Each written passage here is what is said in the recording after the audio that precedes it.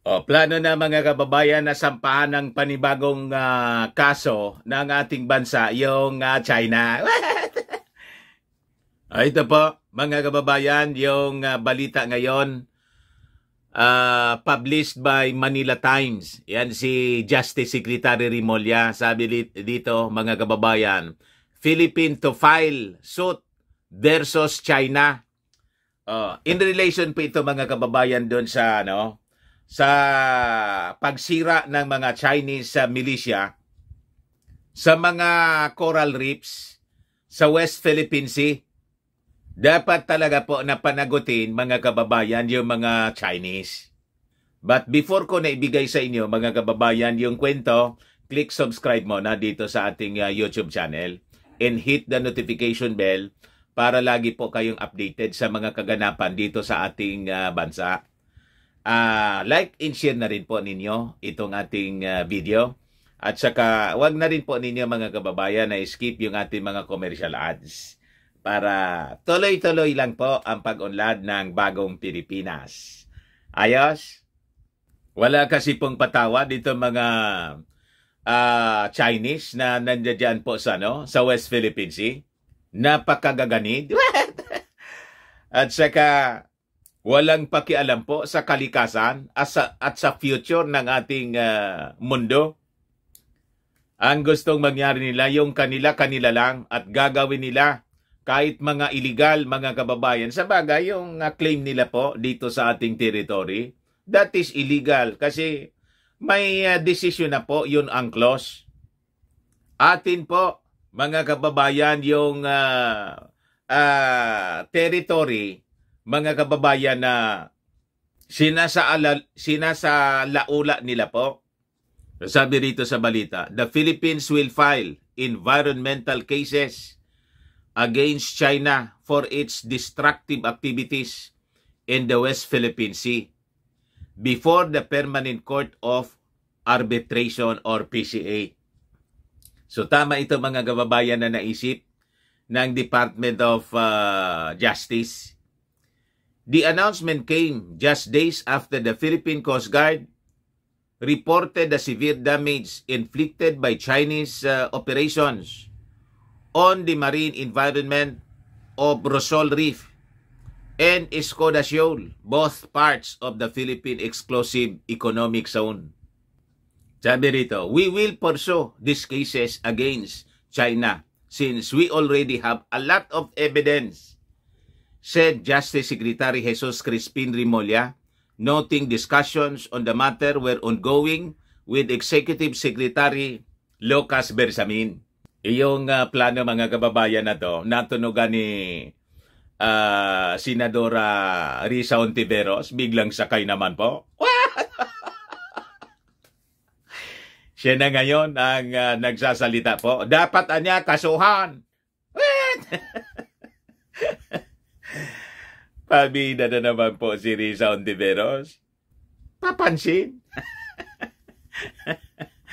In aid of, uh, ano, election. uh, sabi rito, he said, the filing of complaint has no connection with the Philippines territorial dispute anya with China, stressing that destruction of the environment is a sin against humanity. Ngayon, sabi rito, Solicitor General Medardo Guevara confirmed the plan to file charges against China before the PCA.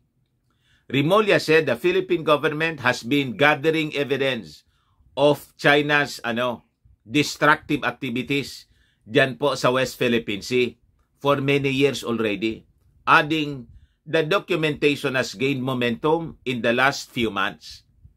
Lalo pa ito yung latest mga kababayan ng uh, magpadala ng mga divers, yung ating uh, Philippine Coast Guard.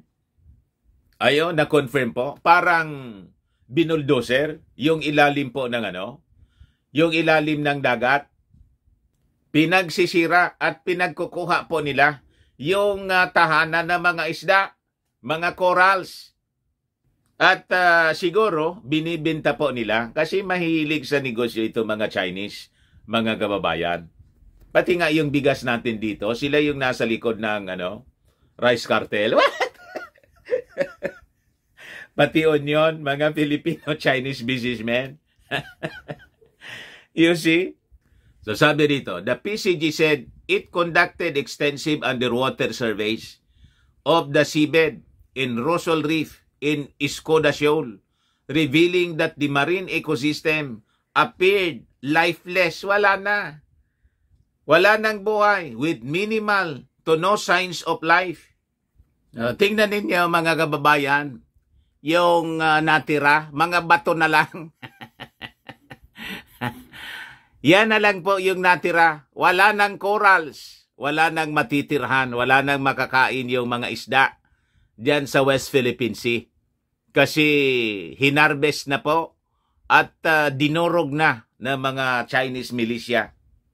Sabi ng Armed Forces, there's nothing left.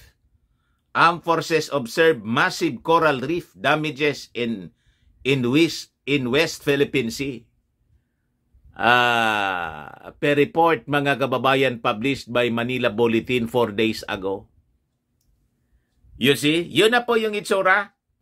Ganon katindi ang uh, ugali mga kababayan nitong mga barkada ni Mau Diggs tapos ni Mau Robin. Robin Mau. nagalit pa sa tulong na binibigay sa atin ng Amerika para ma-maintain yung peace dito po sa West Philippine Sea. Bakit niya nangingialam yung Amerika dyan? What? Sasabi rito, the survey revealed potential dumping of dead corals that were previously processed and cleaned before being returned to the seabed the continued swarming of the indiscriminate, illegal, and destructive fishing activities anya of the Chinese maritime militia in Rosal Reef and Iskoda Shoal may have directly caused the degradation and destruction of the marine environment in the West Philippine Sea features, sabi po ni PCG spokesman Como J. Ah, Como. Commodore. Commodore J. Tariela, sabi niya, the PCG emphasizes the importance niya of protecting the and preserving our marine environment, which plays a crucial role in sustaining marine life, in supporting local communities. Dagdag niya mga kababayan.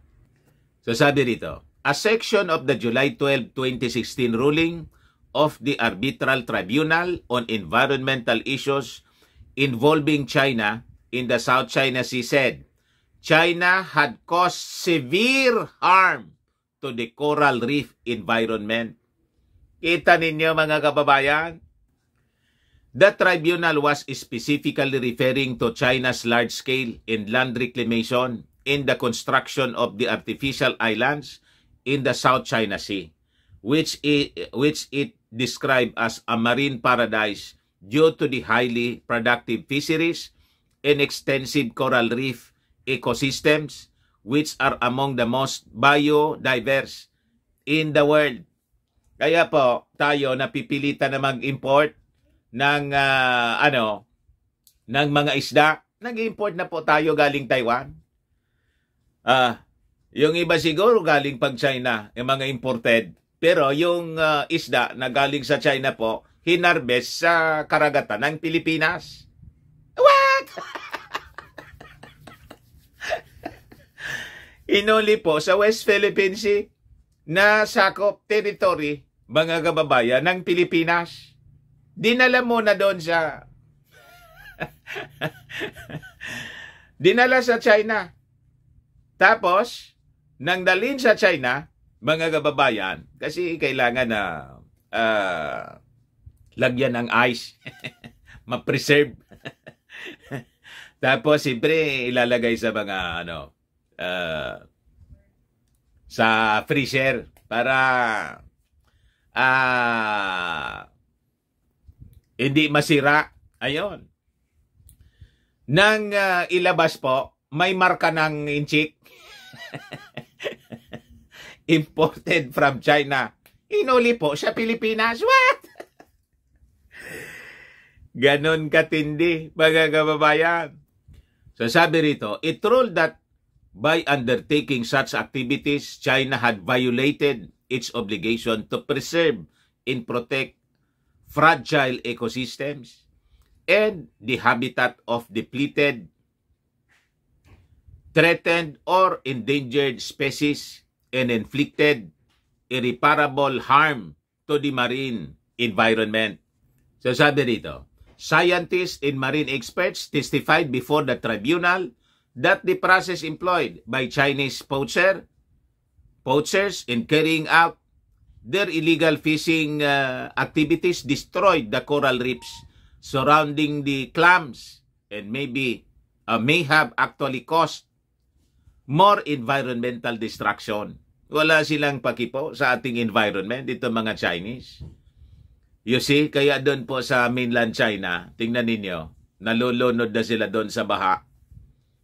Ah, yan kasi wala kayong habas sa pag uh, ng environment. Binibultahan kayo ng kalikasan. So sabi dito, Chinese dredging and island building activities have damaged or destroyed at least 55 square kilometers of reef while the destructive methods of giant clam uh, fishermen have destroyed 104 square kilometers of once living coral. Ito yung mga nauna pa to. Ito bago. Background story po ito mga kababayan based doon sa nagi napagdesisyonan ng uh, 26 uh, 2016 arbitral ano ruling. The tribunal also determined that the Chinese government was responsible for the poaching that ensured the devastation of coral reefs. Kaya desidido po yung ating uh, gobyerno na mag-file muli ng uh, asunto kasi may kwa na po, may president na po. Nanalo na tayo noong 2016 of the same case.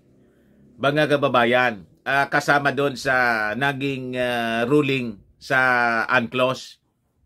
So yung argumento, mga kababayan na yon, uh, na nakasama sa ano, panalo tayo sa arbitral ruling. Panalo tayo doon. Kaya ito ipoporso ng ating gobyerno.